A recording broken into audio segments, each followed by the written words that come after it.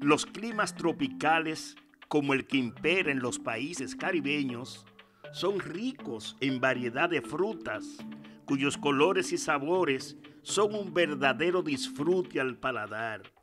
Algunas de esas frutas, como el cajuil, forman parte de las tradiciones culturales dominicanas.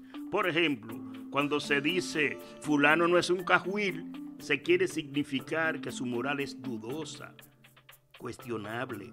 El libro Vocabulario de la Cultura Taína de Rafael García Vidó registra la palabra cajuil como árbol cuyo fruto es jugoso, de color amarillo y rojo, actualmente muy apreciado para hacer dulces.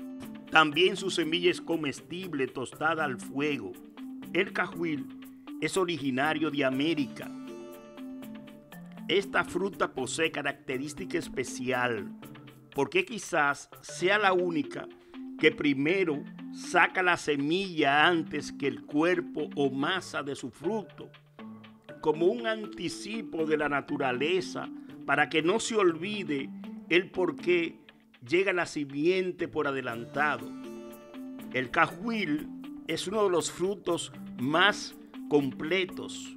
Contiene vitaminas como las B1, B2, B3, B6 y C, además de minerales como el potasio, calcio, fósforo, hierro y magnesio. Algunos dicen que las semillas de cajuil le da potencia a los hombres en la actividad sexual, pero que la fruta debilita y crea problemas de erección. Bueno, según las tradiciones dominicanas, los jóvenes que están en la etapa del desarrollo deben evitar comer cajuil. Otros expresan que el humo de las semillas de cajuil le da peste a las gallinas.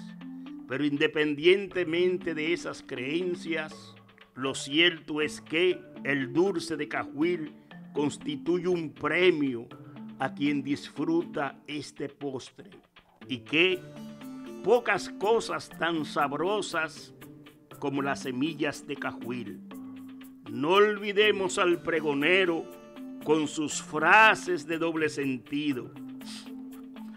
Oye, morena, semilla caliente, semilla. Para objetivo 5, Leonel, perdón, Leonel Martínez.